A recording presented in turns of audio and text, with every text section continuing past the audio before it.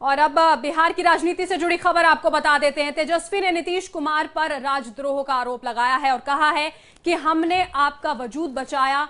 हमें पता था आप बीजेपी के साथ जाएँगे। लोकतंत्र की हत्या की गई है। यह बात तेजस्वी यादव की तरफ़ से कही गई है। बिहार के युवा के साथ नकारात्मक राजनीति की है। नीतीश ने कभी इस्तीफा नहीं मांगा। ये बातें तेजस्वी यादव की तरफ़ से कही जा रही हैं। छवि चमकाने के लिए यह साजिश, सरासर महज एक साजिश रची गई है।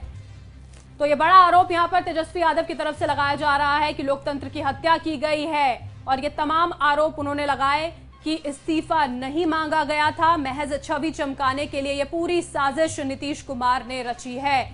उन्होंने कहा, इसी के साथ राजद्रोह का भी आरोप लगाया है और कहा कि हमने आपका वजूद बचाया। हमें यह पता था कि आप बीजेपी के साथ जाएँगे।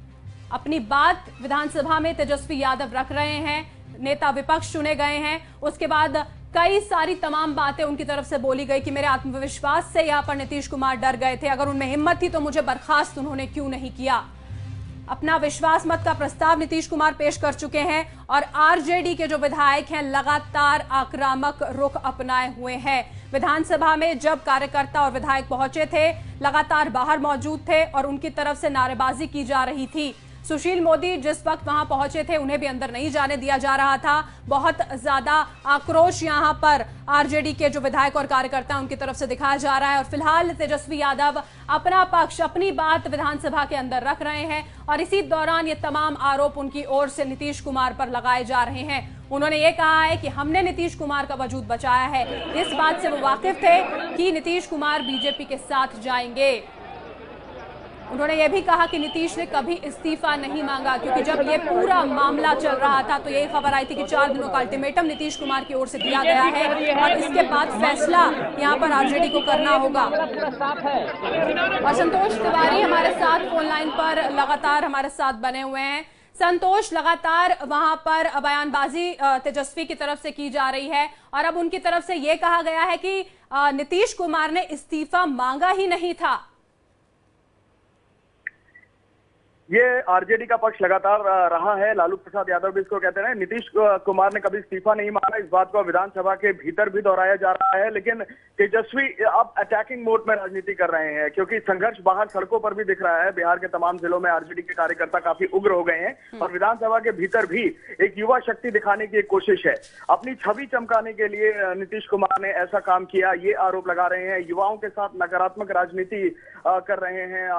नीतीश कुमार युवाओं को लेकर बिल्कुल उनको लगता है कि युवा इस बिहार के कुछ कर नहीं पाएँगे और ऐसे में जो उन्होंने मेरे साथ किया यानी जो तेजस्वी के साथ किया यही वो बिहार के युवाओं के साथ करेंगे तो विधानसभा के भीतर से ये एक संदेश देने की कोशिश है कि नौजवानों को राजनीति में आगे आने के लिए प्रोत्साहित करना चाहिए लेकिन नीतीश कुमार ऐसा कर नहीं रहे हैं सिर्फ़ और सिर्फ़ अपनी छवि चमकाने की वो एक कोशिश कर रहे हैं तो आरोप प्रत्यारोप का एक लंबा दौर चल रहा है और चलेगा भी आगे क्योंकि हम्म। विधानसभा के बाद सड़कों पर अब आरजेडी की राजनीति और काफ़ी संघर्ष की राजनीति करनी है। लालू प्रसाद यादव से तमाम विधायकों ने बातचीत की है। विधानसभा के भीतर आने से पहले लालू प्रसाद यादव के घर से ही ये सभी विधायक विधानसभा आए हैं।